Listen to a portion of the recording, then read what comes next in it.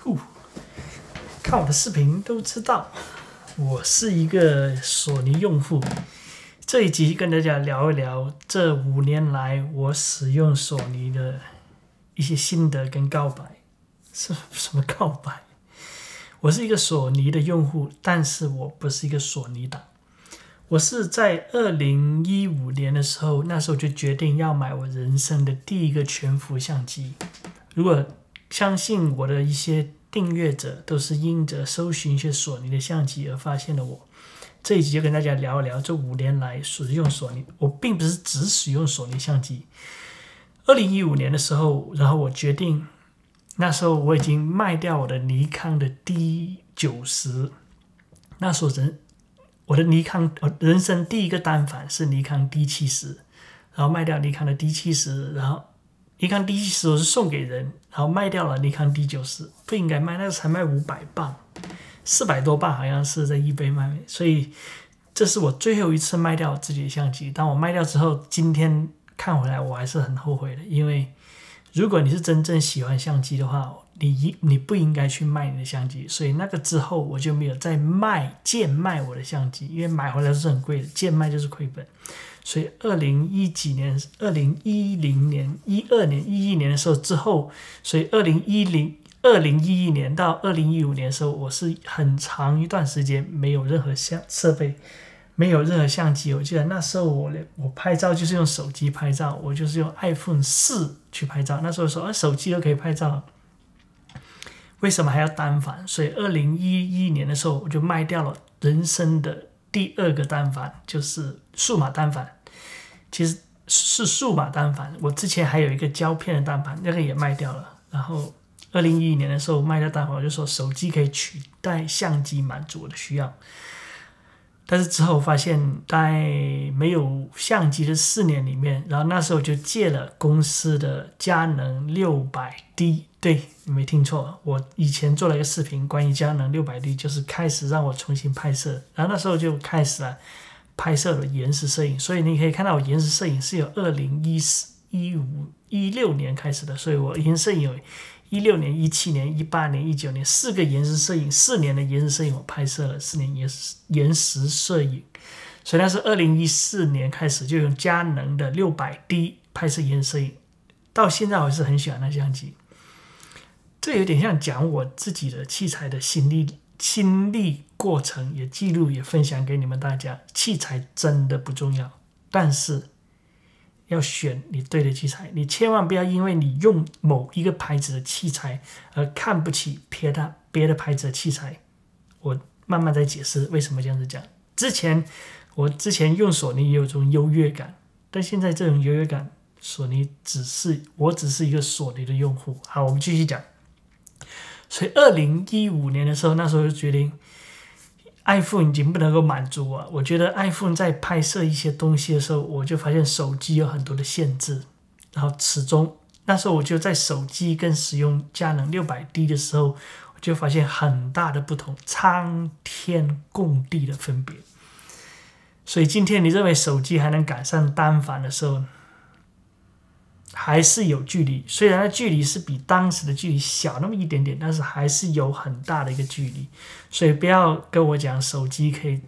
短时间代替单反，我觉得五年之内还不可能做到，因为一寸底大就是大。所以那时候我就决定，然后那时候就对比，为什么同样是一个手机是四百多块钱的手，那时候四百英镑的手机，一个是 DSLR 或者是佳能的。六百 D 那时候好像才两百多，为什么手机拍出来的照片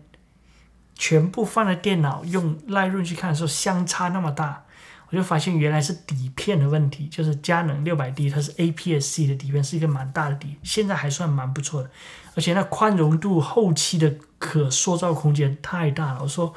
手机其实只是拍了看，拍了看，你不能后期处理太多的问题，到现在为止还是这样子。然后，二零一五年我就决定我要花我人生第一笔差不多一万多块钱的人民币，当时相当于一万多块钱人民币去买一个相机。那时候我就看了一下，我对，不是之前我还买了一个富士的，对，富士差一万，那个也送给人了。哇，那是整套，不是送给人，是捐给某一个机构。那时候捐给某某个机构，但是在捐的时候，我就决定我要升，因为那时候我用了一段复试，有拍摄视频，有对焦各方面，拍摄很漂亮，色彩也很漂亮，但是视频真的是太不太垃圾了。当时的复试视频真的是太垃圾了，所以那时候我二零一五年就做了人生第一个决定，也就为什么会有今天的 YouTube，或者也就为什么会有今天的 Channel。二零一五年我就做了人生一个决定，我需要。那时候我就知道我自己需要什么，所以我买相机的时候我就知道自己需要什么。我需要一台相机，它必须是全幅，不能是残幅。第二，它不单可以拍照，也要可以拍的蛮不错的视频，就是这两个要求。所以当时二零一五年的选择就有两个，只有两个。不要跟我讲 Blackmagic 这些东西，它不是全幅，它不能拍照。也不要跟我讲富士，当时的富士。没有全幅，二零一五年的富士没有全幅在讲，所以当时全幅拍照视频机只有两个。你说尼康呢？尼康有全幅，但是视频并不是出名，出名的或者是数一数二的第一、第二名就两个，一个是佳能的五 D 三单反传统的单反，第二个是索尼新推出的。A7S 第一代，现在还在我这里。就是当时，当然你看到这个时候，我就选择了索尼 A7S 的第一代。当时我看，我也是看了很多的很多 review，然后我也参加了一些索尼的一些讲座，一些一些的一些的，像是一个 workshop 这样子，就你上手去测试，然后去拍摄。那时候。那时候我拿了五 D 三，在拿这个时候，我被我被这个所惊艳了。全幅的相机做的那么小，到今天为止，这个还是我拍摄延时摄影的主力机。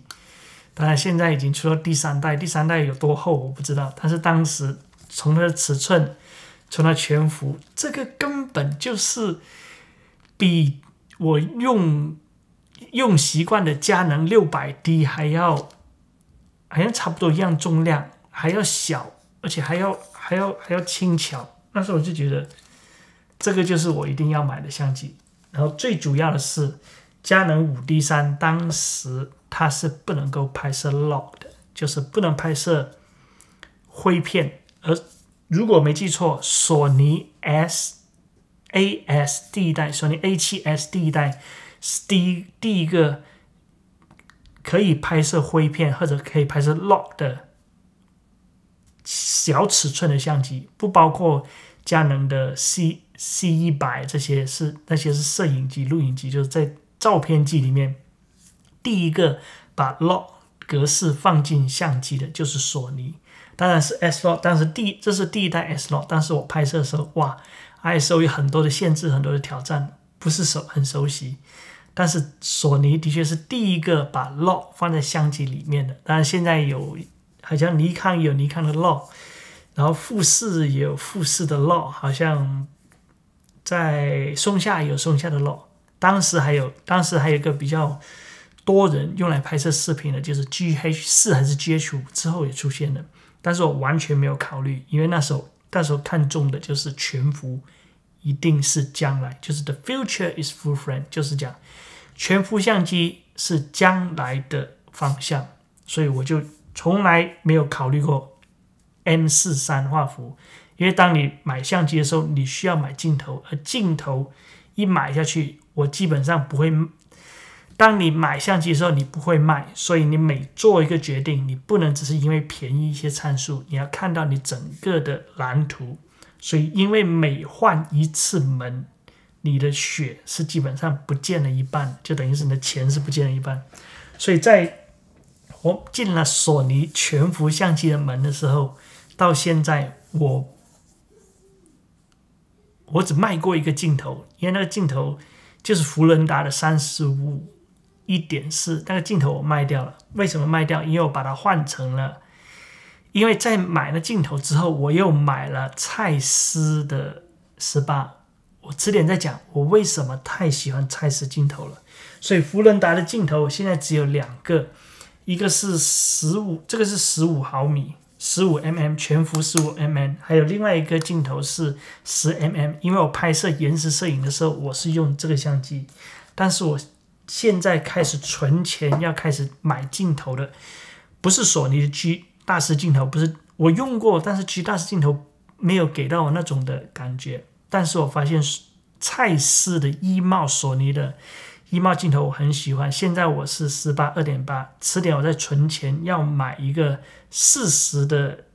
二点零，好像是是不是二点零还是一点八，我忘记了。就说我索尼相机我最喜欢的是蔡司的镜头，第二才是福伦达，因为够小，福伦达就没有自动对焦。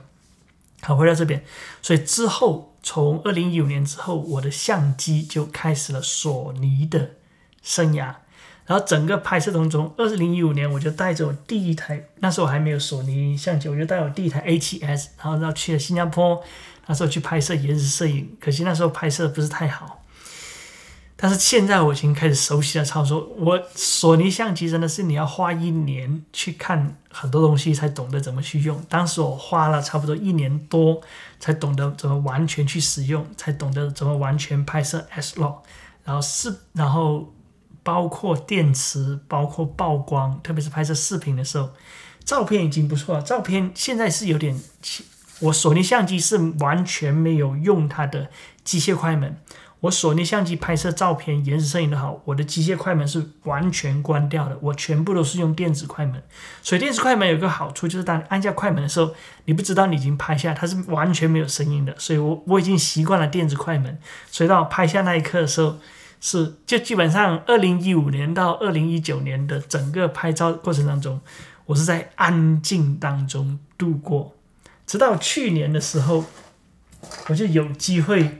接触了尼康的顶级相机，当时的顶级相机 D 三，然后当当时我到开启那快门声音的时候。我被那尼康，我我就被尼康的快门给深深吸引住了，那种的清脆。当然，最好听的快门还是徕卡的快门，我也听过徕卡快门。所以先回我们倒回去点，不要讲到二零一九年。所以二零一五年我就开始了索尼，我就开始一直用索尼 A7S 去拍摄视频，也拍摄延时摄影。那时候还没有主主主要拍摄视频，我只是主要拍摄延时摄影跟照片。但是差不多在二零一八年的时候，就二零一五年到这三年当中，我一直面对一个问题，就是当我拍摄延时摄影的时候，我的相机是设置在那边，一个小时我是不能动的。等于这一个小时我拍摄当中，我必须用手机去拍摄。我觉得如果我有第二个相机，那个多好。所以那时候二零一七年左右，我就开始在考虑要购买第二个相机，当然要求也是必须是全幅。然后必须是可以让我拍摄蛮不错的视频，然后对焦要好。哎，怎么突然间对焦对焦要好？因为索尼的 A7S 对焦真的是太差了，无论是照片还是各方面，它对照片对焦还可以，但是手动对焦，所以就是对焦要好，要要好，然后要拍摄全幅，要是全幅，然后。最好就能共用我当时所有的索尼镜头，呃，当时选择不多，就决定了是索尼的 A7R2 第二代，就现在你们看的，我就一直拍摄了一千多集的 Vlog，或者是去任何地方，基本上这一千多集的视视频我都是用 A7R2 拍摄，然后回到这个相机，所以。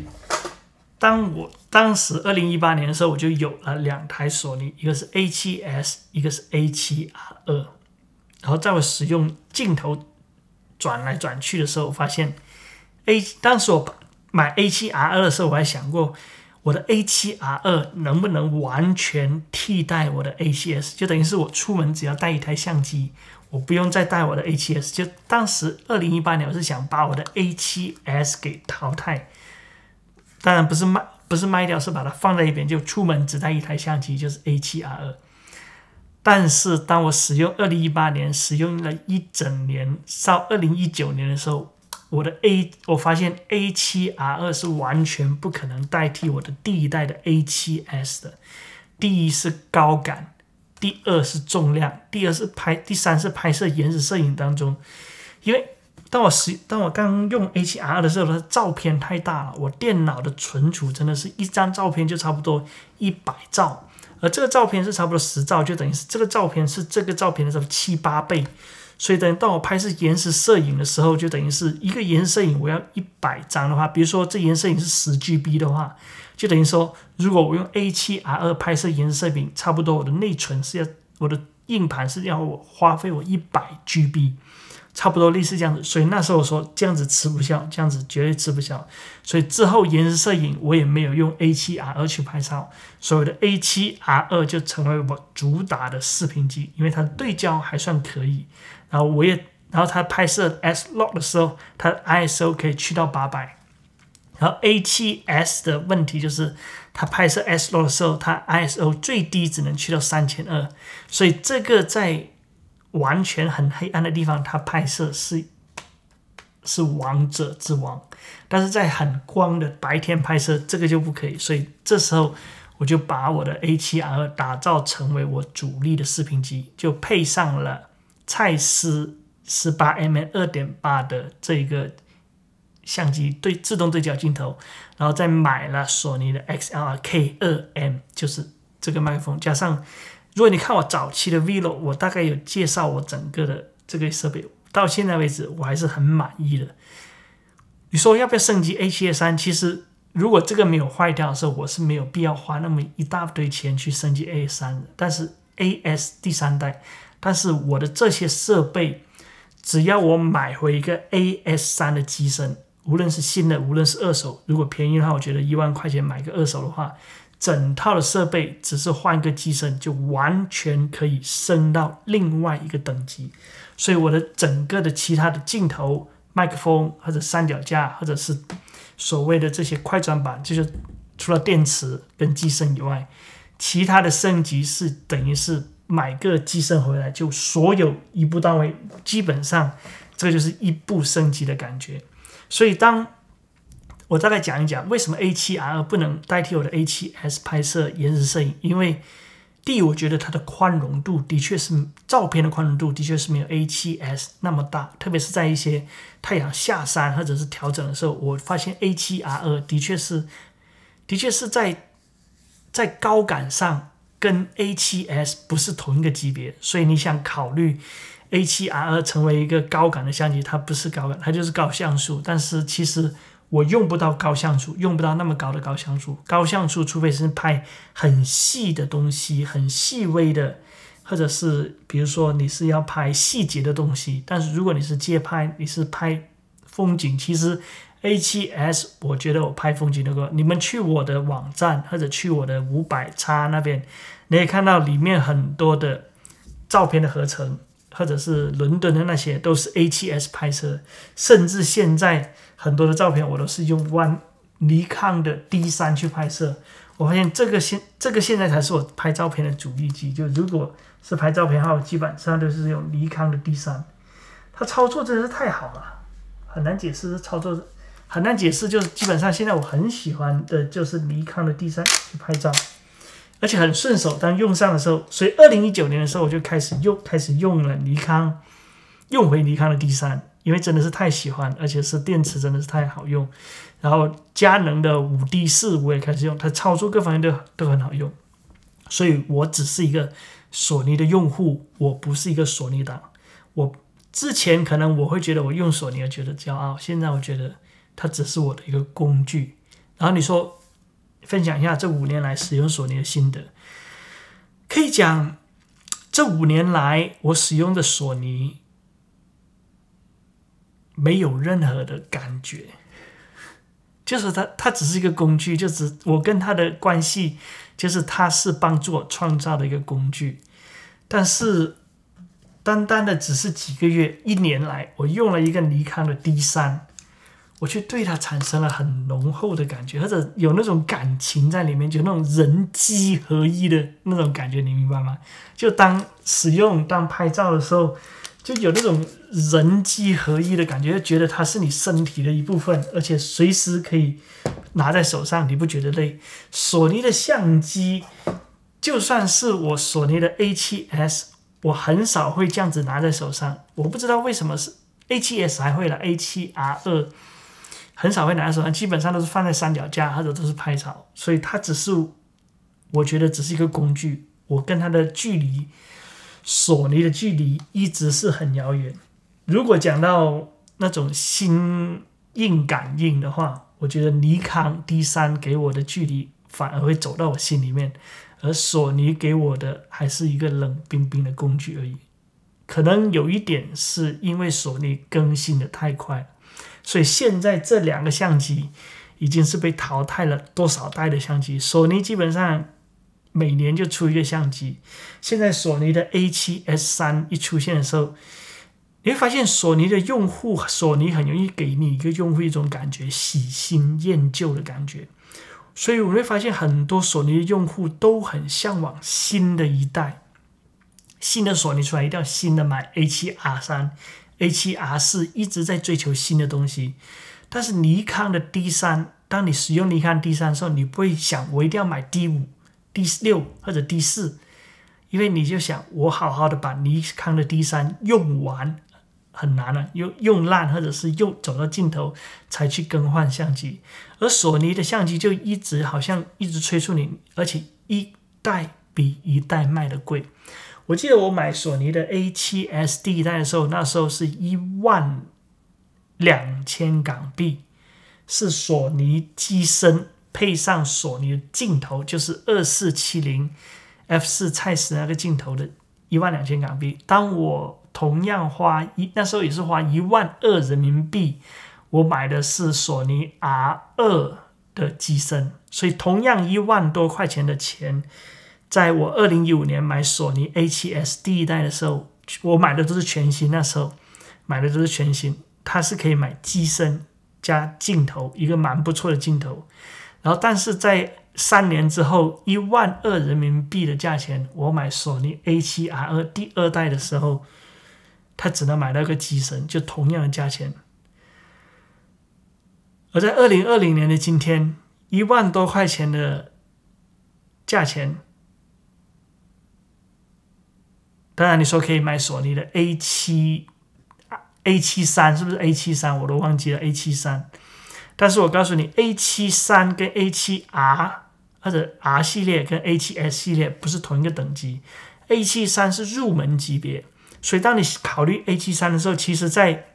你说好像在参数上都差不多，其实，在索尼从来不会做那么笨的事情。它在用用料或者在各方面使用的材料，或者是算是镀镀膜也好，那些细节当中是跟 A 七 R 二跟 R S 是有分别的。所以我现在是一个拥有 R 系列跟 S 系列的，所以我曾经有考虑过 A 七三，但是当我摸上手的时候，那个感觉，我觉得。有一点点廉价，所以这是同就等于是现在连 A7R2 的机身或者 A7R 的机身我都买不起，所以一万多块钱在今天 A7S 第三代出来的时候，它的要价是两万三，好像是两万三，所以我还是同样是打算用一万多块钱的价钱买入手一个 A7S 三，时间不是问题，我可以慢慢等。所以索尼的相机它会很冲动，让你一直去更新。但是自从用惯以后、体验过以后，我发现索尼相机不得不说，它的确是一个没有灵魂的品牌。虽然我是个索尼的用户，我也很喜欢用索尼的相机，也用了习惯了索尼相机，但始终索尼的相机还是没有走到我的心里面。我不知道是我个人的问题，但是。尼康的 D 三却已经走到我的身心里面。当然，之前我讲过一集，索尼是将来，或者是索尼是 future。这个的确是，哎，我看有没有有没有超时二十四分钟了。好了，我们就再讲三分钟，我们就结束了。本来想讲再录的，不要不要讲太多。所以这个就是一个五年索尼相机的一个。用户的感受，你说索尼相机好用吗？的确是很好用，方便吗？是很方便，完美吗？不完美。但是当你用起来的时候，